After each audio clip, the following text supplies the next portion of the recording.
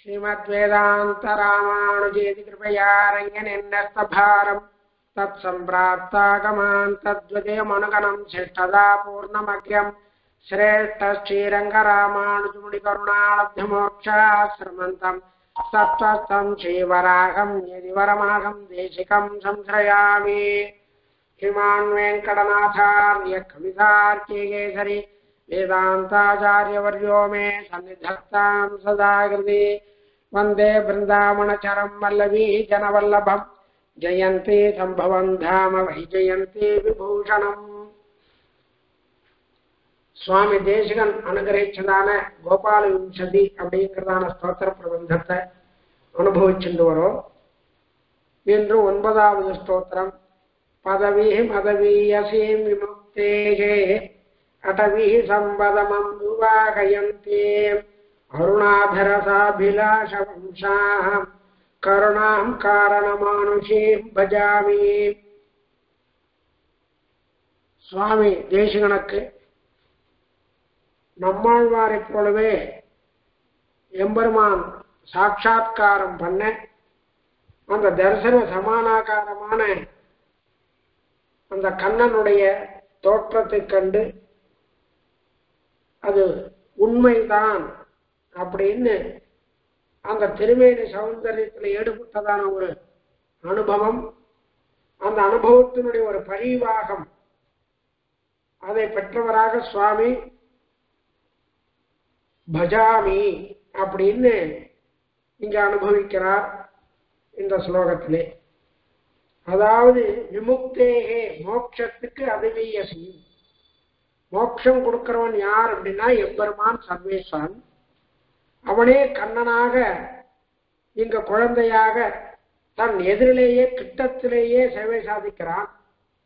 அதனால பதவியில் நாம மோட்சத்துக்கு போக வேண்டியதான பாதை அந்த மார்க்கம் அந்த மார்க்கமானது அடவி சம்பதம்.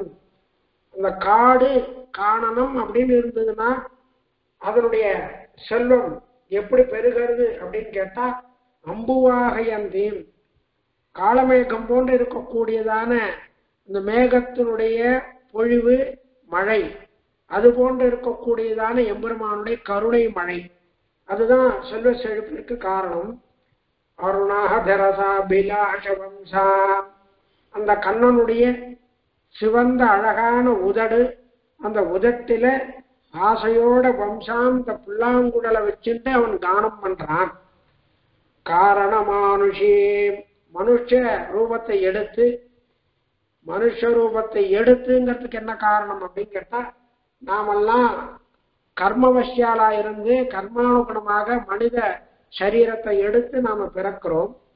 ஆனா இங்க பகவான் மனுஷ ரூபத்தை எடுத்துட்டான். அது எதுக்கு அப்படின்னு கேட்டா ஆசிரியர்களை ரட்சிக்க வேண்டும் அப்படிங்கிறதுக்காக தன்னை மனிதனாக மாற்றிக்கொண்டு அவதரித்தான்.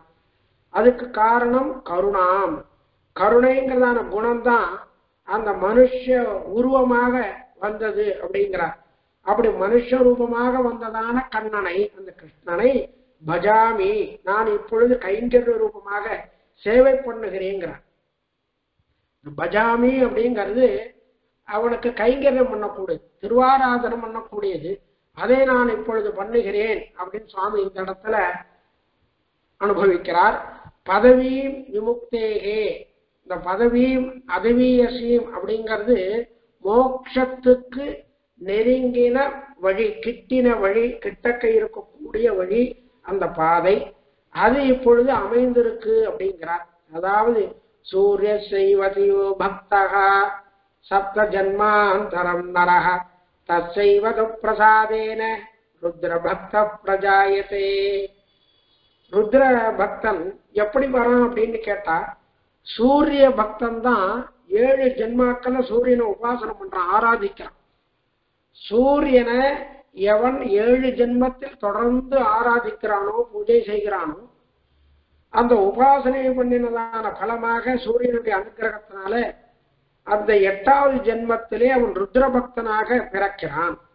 இப்ப சூரியன் அப்படிங்கிறது எங்க இருக்கு அப்படின்னா தூரத்துல இருக்கு. தூரத்துல இருக்கக்கூடியதான அந்த சூரிய தேவனை உபாசித்து இவன் அதன் அனுகிரகத்தினாலே ருத்ர பக்தனாக வருகிறான்னு சாஸ்திரம் சொல்றது. இங்க அப்படி இல்ல தூரத்துல இல்ல. இங்க கிட்டக்க இருக்கு. சாட்சா்காரம் பண்ணிட்டார் சாட்சா்காரமா எம்பெருமான் சேவை சாட்சின்னு இருக்கான். அடவி சம்பதம்.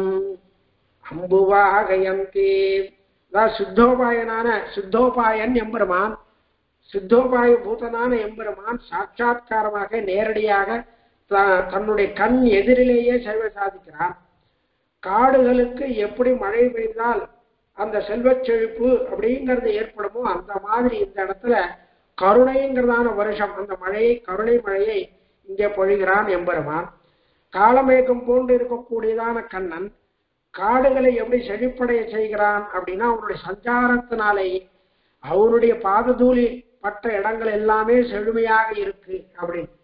அருணாதரசா பிலாஷ வம்சாம் கண்ணனுடைய சிவந்த அதரம் அந்த உதடு அந்த உதட்டுல அந்த வேணுவை புல்லாங்குழலை வைக்கிறான். அது சுவாபாவிகமாக ஆருண்யம் சிவப்பாக இருக்கக்கூடியது அந்த உதரம் அதரம். அதுல இருக்கக்கூடியதான அந்த அதரத்திலே வச்ச உடனேயே இந்த புல்லாங்குழல் அந்த அதரத்தினுடைய சுவையை சுவைக்கிறதா?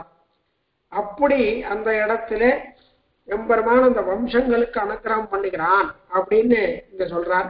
இப்படி ஸ்வரித வேணுனா சுட்டு சும்பிதம் விதர வீர நஸ்தே அதராமிருதம் அப்படி வேணுனாலே அந்த வம்சம்னு சொல்லக்கூடியதான புல்லாங்குழல்னாலேயே பீதமான அப்படிங்கிறார். பீதம்னா பருகிறதுன்னு அர்த்தம். அதரத்தை அவனுடைய அதரத்தை உதட்டை பருகிறது எப்படின்னா கோபிகைகள்லாம் விரும்பினாலாம். அந்த மாதிரி இருக்கக்கூடியதான வதனம் அந்த வதனம் அவனுடைய திருமுக மண்டலம் வதனம் அவனுடைய திருவாய் வதனம் அவனுடைய அந்த அதரம் உதடு வதனத்தில் இருக்கக்கூடியதான உதடு. அப்படி அருணமாய் இருக்கக்கூடிய சிவந்ததாக இருக்கக்கூடியது. அதிலே இந்த வேணுவை வைத்து இவன் வந்து தானம் பண்ணுகிறான். இப்படி கோபிகைகள் எல்லாம் ஆசைப்பட்டது போல அனுபவிக்க தகுந்ததான அந்த கண்ணன் அந்த அதரம் அப்படிங்கிறான் அந்த அதரத்துல பஷ்யசானுஷு சித்திரேஷு மிருகேபி சகிதா மிருகான் மா புன மிருகசா பாக்ஷா வைதேகியா விர்கிரீதம். இந்த இடத்துல மிருகாகான்னு சொல்கிறார். தம்பதிகளா இருக்கக்கூடியதான மான்களை பார்த்து பெருமாளுக்கு சித்த விகாரம் உண்டானா போலேங்கிறார். சித்த விகாரம் மான்களை பார்த்த உடனே அவருக்கு மனசு கலங்கிறது. விராட்டி கேட்டானே அப்படின்னு. இப்படி அதரபானம் அபிலாஷ பேச்சினாலே அதரபானம் பண்ணணும். கண்ணனுடைய அதரத்திலே அபிலாஷை. அதுக்கு அனுகுணமாக ஸ்திரீ சுவாவம் ஸ்திரீகளுக்கு இருக்கக்கூடியதான சுவாவம் அந்த கண்ணனிடத்திலே ஏற்பட்டதாம். காரணமானுஷே. கர்ம பலனால வரக்கூடியதான பிறப்பு இல்லை எம்பெருமானுக்கு. ஆசிரித ரட்சணம் அதற்காக வந்து அவதரித்தான். மனுஷனாக பிறந்தான் உருவம் எடுத்து பிறந்தான். கருணச மூர்த்தி அப்படிங்கிறார். கருணையினுடைய மூர்த்தியே மனுஷனாக அவதரித்தது அப்படிங்கிறார். இப்படி அவதரித்து அந்த கருணாமூர்த்தியான கண்ணன் இவன் வந்து சாட்சாத்தாக நமக்கு சேவை சாதிக்கிறான் அவனை பஜாமி. நான் பஜிக்கிறேன் அப்படிங்கிறார் இந்த பஜாமி அப்படிங்கிறது என்ன அப்படின்னா சேவைன்னு அர்த்தம். கைங்கரியம் அப்படின்னு அர்த்தம். அந்த கைங்கரியத்தை நான் பண்ணுகிறேன் அப்படிங்கிறார். அந்த காலத்துக்கு தகுந்ததான கைங்கரியத்தை நான் பண்ணுகிறேன் அப்படிங்கிறார். ராசக்கிரீடை பண்ணுனான். யமுனா சாட்சிக யௌவனம் அப்படின்னு ராசக்கிரீடை பண்ணினான் கண்ணன். தாசாம் அதிவிகாரேன ஸ்ராந்தானாம் வதனானி சக பிராமிருஜத் கருண பிரேம்னா சந்தமேனாங்கவாணினா. ஸ்ரீமத் பாகவதம் வர்ணிக்கிறது. ரதிக்கிராந்தைகளான கோபிகைகள் அவளுடைய முகங்களை எல்லாம் கண்ணன் தொடச்சு விடுறான். இவா ராசக்கிரீடை பண்ணன காலத்துல அவளுக்கு வேர்த்து வேர்க்கிறதுன்னு சொல்லி இவன் தொடச்சு விடுறான். ரதிக்கிராந்தனான கண்ணனுக்கு அவா பண்ணணும். அவா தொடச்சு விடணும். கைங்கரியத்தை பண்ணணும். ஆனா அவ யாருமே பண்ணலையா? கண்ணன் அவளுக்கு பண்ணினானாம் அந்த மாதிரி கண்ணனுக்கு யாருமே பண்ணாம அவன் எல்லாருக்கும் பண்ணான். அந்த கண்ணனுக்கு நான் பண்ணுகிறேன் பஜாமி அப்படிங்கிறார் சுவாமி. ஆளுமாளாராழியும் சங்கும் சமர்ப்பார்தாம் சக்கரவர்த்தி திருமகன் கரண வதம் பண்ணான் மாரீச்சனை வதம் பண்ணான். இப்படி வதம் பண்ணிட்டு எழுந்தருளும் போது யுத்தத்துல பரிசிராந்தனா இருந்ததான் அந்த காலத்துல கைங்கரியம் பண்ண கூட ஒத்துருமே இல்லையா? அகம் சர்வம் கரிஷாமி ஜாக்கிரத சுபதஷ்டதேன்னு சொன்ன இளைய பெருமாளும் கூட வந்து கைங்கரியம் பண்ணல. அதனால எனக்கும் கைங்கரியம் பண்ண அந்த வாய்ப்பு கிடைக்கலையேன்னு ஆழ்வார் நொந்து அனுபவிக்கிறார். அதனால ஆழ்வாருக்கு கிடைக்கல இப்ப எனக்கு கிடைச்சிருக்கு அப்படிங்கிறார். ஏன் ஆழ்வாருக்கு கிடைக்கல அப்படின்னா ஆழ்வார் சக்கரவர்த்தி திருமகனை அனுபவிக்கும் போது அந்த கராதிகளை வந்து வதம் பண்ண காலத்திலே அது அந்த காலம் அப்படி கடந்த காலமாக அனுபவிக்கிறார். கடந்த காலத்துல நான் இல்லாததுனால அவருக்கு பண்ண முடியலன்னு நொந்து அனுபவிக்கிறார் ஆழ்வார். இங்க சுவாமி தேசிகனுக்கு நிக்கடேஷ நிஷாமயாமி தன் எதிரிலேயே சேவை சாதிக்கிறதுனால எனக்கு நான் எதிர்ப்பு நான் வந்து கைங்கரியம் பண்ண முடியும். அதனால நான் கைங்கரியம் பண்ணுகிறேன் பதவி மதவி அசீம் நான் கைங்கரியம் பண்ணுகிறேன்னு பேசுறாரு அனுபவிக்கிறார் சுவாமி. பஜாமின்னு. எப்படிப்பட்டதான கண்ணன் எதிரிலே இருக்கான் அப்படின்னா பதவியும் பதவியசையும் செய்யும் கருணாம் காரணமானுஷியும் பஜாமிங்கிறார். கிட்டத்துல பதவியும் அதவியசையும் கிட்டத்துல இருக்கு. அதாவது அவன் அவனை அடைந்து நாம் கைங்கரியம் பண்றதுக்கான வழி கிட்டத்திலேயே இருக்கு அப்படிங்கிறார். பகவான் யார் அப்படின்னா சுதந்திரன். சுதந்திரனான அந்த பகவானை நாம் பஜிக்காமல் இருக்க முடியுமா? மோட்சத்துக்கு விவகிதமான காரணம் சூரியன் முதலானவர்கள். என்ன? தூரத்துல இருக்கிறவா. அவெல்லாம் அவரர்கள்னு வேறு இவன் பரம் அவெல்லாம் அவரர். பரதத்துவம் அவரதத்துவம் சொல்லும் பொழுது அவெல்லாம் அவரர்கள். பகவான் ஒருத்தனே பரமாத்மா. அதனால அவனை நான் பஜிக்காம இருக்க முடியுமா? அச்சேதமான அச்சேதனமான காடுகளுக்கும் ஒரு சமிருத்தி ஏற்படும் போல பகவானுடைய திருவடி தூளிதானம் பண்ணி எல்லா இடத்திலும் சஞ்சாரம் பண்ணி அந்த காடுகளை செல்வச் செழிப்பாக மாற்றினானே அவனை நான் பஜிக்காமல் இருக்க முடியுமா? வேணும் வேணும்னு சொல்லக்கூடியதான் அந்த மூங்கில் அவனுடைய அதரத்திலே அந்த அதரத்தை அனுபவிக்க வேண்டும் அப்படின்னு ஆசைப்படுறதே அச்சேதனமான ஒரு வஸ்து கூட.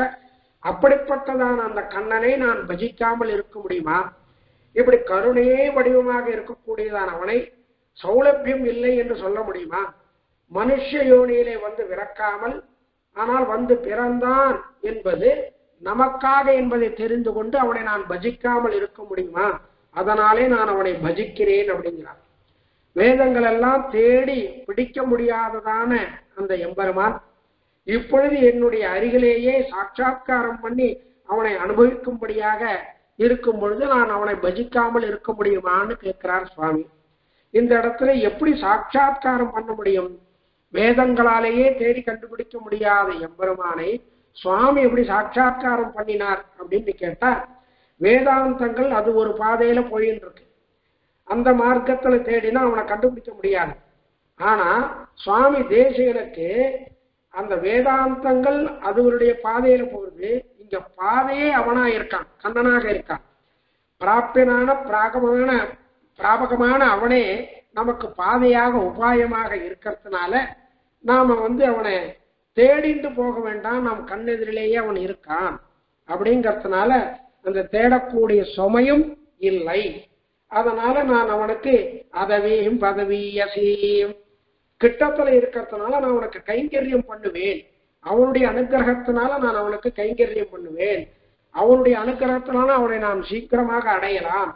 அப்படின்னு இந்த இடத்துல பஜாமி அப்படிங்கிறார். பக்தியினுடைய ஸ்தானத்திலே பிரபக்தி பாஞ்சஜன்யத்தினுடைய ஸ்தானத்திலே அந்த வம்சம்னு சொல்லக்கூடியதான வேணு புல்லாங்குழல் அந்த பாதையினுடைய முடிவிலே நகரப்பிரவேசம் வேணுஸ்தானத்திலே பாஞ்சஜன்யம் அதுக்கு காரணமானவன் தேவஸ்தானத்திலே காரண மானுஷ வேஷம் கோபாலன். அவனுடைய கருணை தான் காரணம். அதனால காரணமானுஷையும் கருணாம் பஜாமி. அவனை நான் பஜிக்கிறேன் அப்படிங்கிறார். பதவியும் மதவியசீம் முக்தேகே.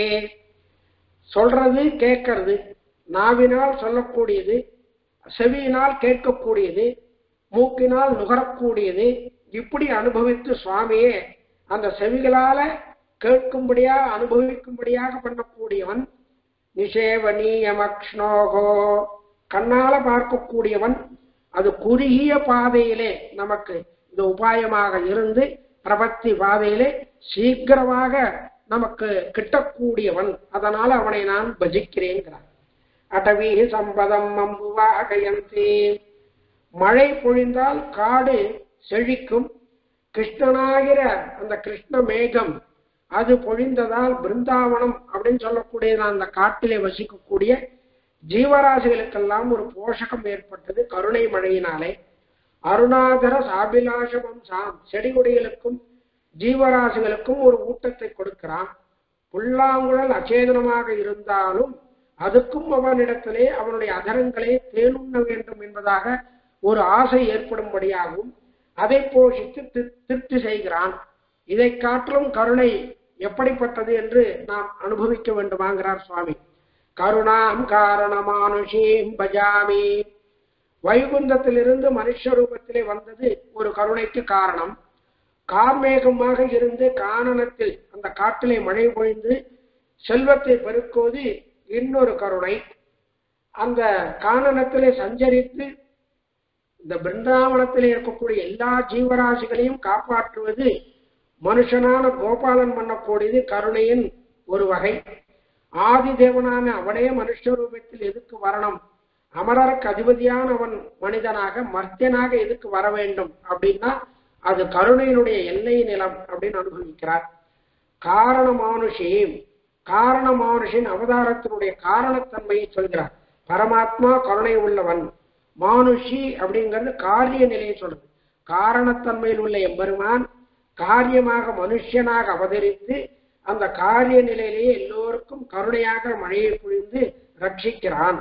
காரண மானுஷீம் பதவியசி பதவி அம்புவாகயந்தி அருணாதர சாபிலாஷ வம்சா கருணா அப்படின்னு எல்லாம் கருணைக்கு எல்லை நிலமாக இந்த இடத்துல காண்பித்து அப்பேற்பட்டதான அவனை பற்றினால் பிரபத்தி பண்ணினால் மோட்சமானது சித்தம் அப்படின்னு சுவாமி சாதித்து இந்த ஸ்லோகத்தை தலை கட்டுகிறார் कवितारसिंहाय कल्याणगुणशालिने शिवदे वेङ्कटेशाय वेदान्तगुरवे नमः। शिवदे श्रीवराहमहादेशिकाय नमः। शिवदे श्रीनिगमान्तमहादेशिकाय नमः। निर्मणि सत्यभामासमेत श्रीवेणुगोपालपरब्रह्मणे नमः।